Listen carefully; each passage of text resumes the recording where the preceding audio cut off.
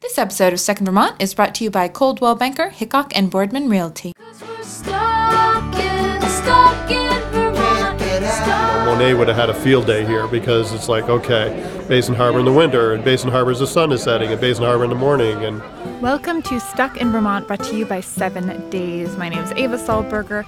We're here in Vergennes at the Basin Harbor Club.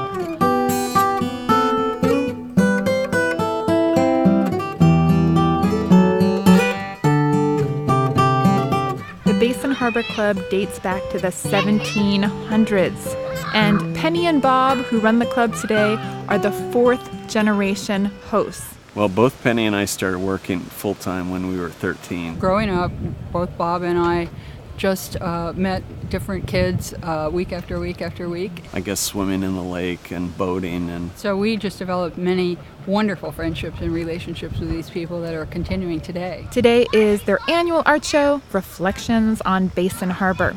It's its 25th year. People line up at the door to come every year. So I'm like a kid at Christmas time on this day in August every year because I can't wait to see what the artists have produced. Well, Reflections on Basin Harbor started in 1986, where was our centennial year of business. and we've invited Vermont artists to come and paint their reflections as they see them of Basin Harbor and and I asked for a cottage on the lake. And I got one. They put us up for a couple nights. We're fed. No starving artists here. We're fed. You know, I would be here at times when I wouldn't normally be here, like late in the evening and very early in the morning, and those are the most beautiful times. Basin Harbor gives the artists that connection. They give us two free nights stay here. So when we capture our experience, it matches up with their guest experience. The wonderful thing about this is that it acquaints people who are not from Vermont, perhaps, with the wonderful work of Vermont artists. All these artists who have artwork around here will probably tell you that people have come from Basin Harbor to their studios and stuff, and it's just a win-win for the creative economy.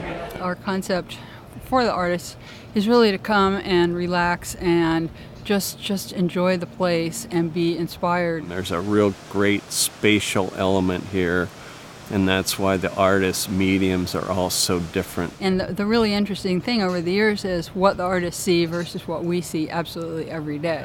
Every kind of media here, it seems, that you can imagine. And the styles are completely different. I think it's fun to see how everybody takes the nuance of Basin Harbor and makes it their own. There's lots of color and light and movement here between the water of the lake and the gardens. Uh, we just never get tired of the view and never get tired of the landscape. You've got the water, you've got the mountains on the other side of the water. Juxtapositions of chairs of complementary colors to the flower beds, and I mean, there's just so many different combinations that you could do here. My grandfather always felt that the view was and is a non-depletable resource. You know, the sky's the limit. You could paint this. I could paint this for the rest of my life. Many of our guests have become important patrons for some of these artists. I mean, a lot of people come to Basin Harbor to view the show. Uh, it's great exposure for us as artists. Generally 30 to 40% of the paintings are sold. I- I've been fortunate enough to make a couple sales already, so that helps, especially in this economy. I've built quite a following out here at Basin Harbor. They own one of my pieces, which is behind the reservation counter now. Every year, the resort buys something wonderful. But we all would like to have larger places to put them. I saw this one and it just it spoke to me about Basin Harbor and about what brought me to Vermont. The heron spoke to me too when I was painting. He, he came every morning that I was here and did some fishing, and then he flew off very suddenly right in front of me. So to have her see the same thing that I felt was very touching. The people have been living here for thousands and thousands of years. They've been seeing the same things that we see. You know, Lake Champlain was the interstate back then. It was how people traveled. At one point in time, you would have seen Native Americans traversing the lake. At one point of time, you would have seen Benedict Arnold coming down the lake being chased by the British. Gee, wouldn't it be great if someday there was this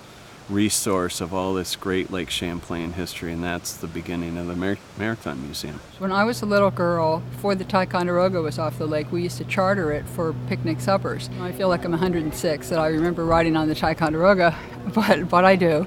That it has been in the same family for all these years and have kept up the tradition, which is just for some people, old people like me, it's nice. Yes, My family, Beach Family, has been operating in Basin Harbor for 125 years. It's a family place, and they've kept it this way through the generations. When I grew up, we just were all over the place.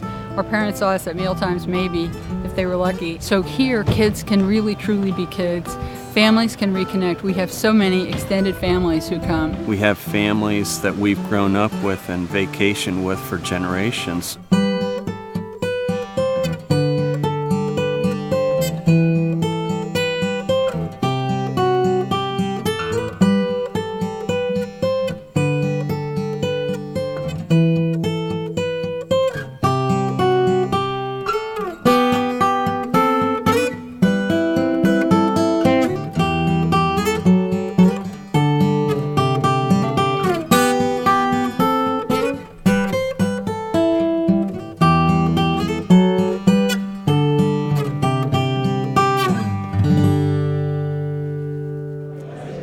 Place looks familiar, it's because it might remind you a little bit of dirty dancing. We'll get Second with you again real soon. I know people say this is sort of like the dirty dancing resort. Do you ever hear that comparison? There's some truth to that. We have about 135 staff that live on property, and we have about 300 staff. So um, you can imagine uh, anything goes.